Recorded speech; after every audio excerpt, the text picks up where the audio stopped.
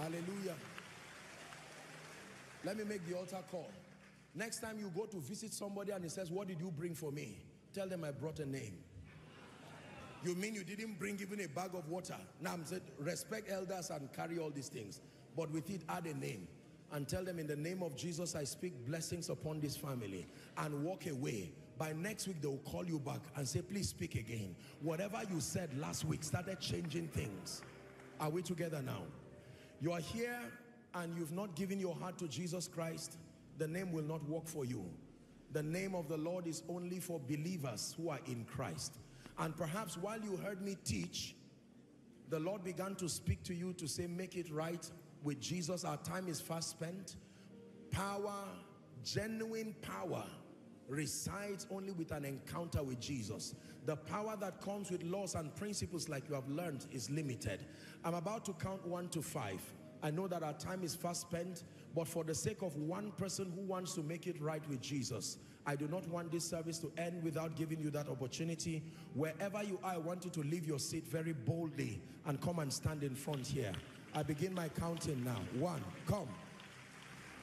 Come. God bless you. God bless you. These are not the only ones. Come. Gentlemen, make it right with Jesus. Koinonia, is this the best you can do for them?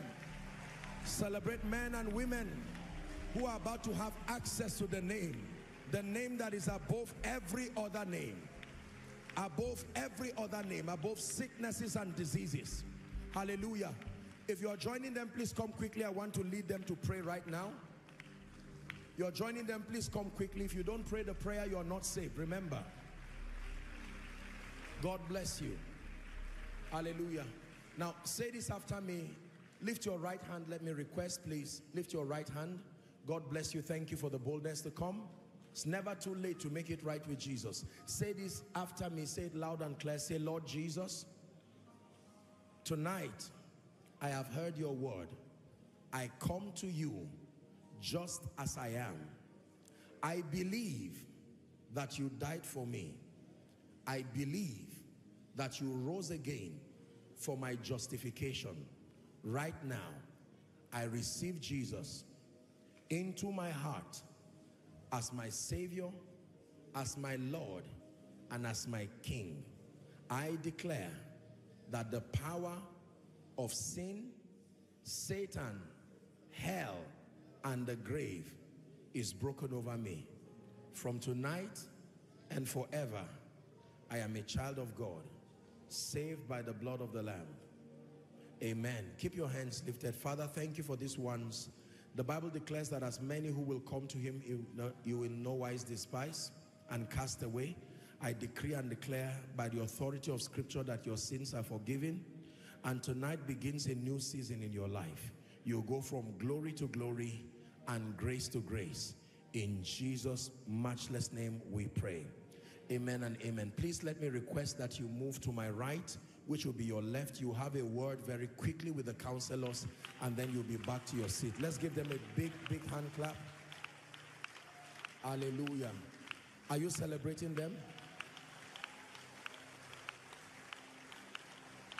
In the name of Jesus, I speak over your life that this name you, has, you have found as an inheritance, let it work wonders this week in the name of Jesus Christ. And like we have learned, anybody who tries to use elemental forces against you, they will see the superior power of Jesus. In the name of Jesus Christ. By this prayer, every fear that you have, fear of men using things against you, in the name of Jesus, I prophesy to you, it will not work. And where it has been working before now that power is broken officially.